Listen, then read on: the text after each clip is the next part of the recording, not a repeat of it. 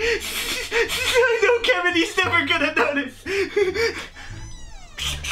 He's coming, he's coming, he's coming. Hey.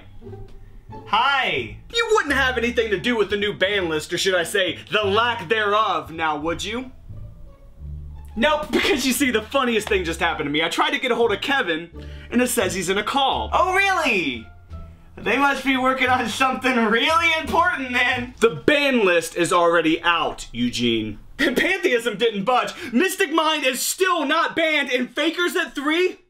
Do you know that you essentially just doubled the amount of Mystic Mine players there are out there?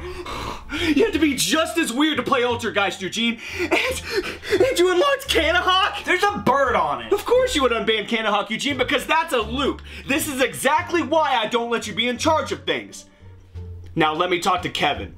Fine. Kevin, Yep. I know that you made friends with Eugene, but I gave you a job to do. Do you want to end up tied up in my garage again? Because I can make that happen right now. Unlock Monarchs. Shit, dude. Fine. But can I unlock Electromite for Triff too? no, you fucking can't.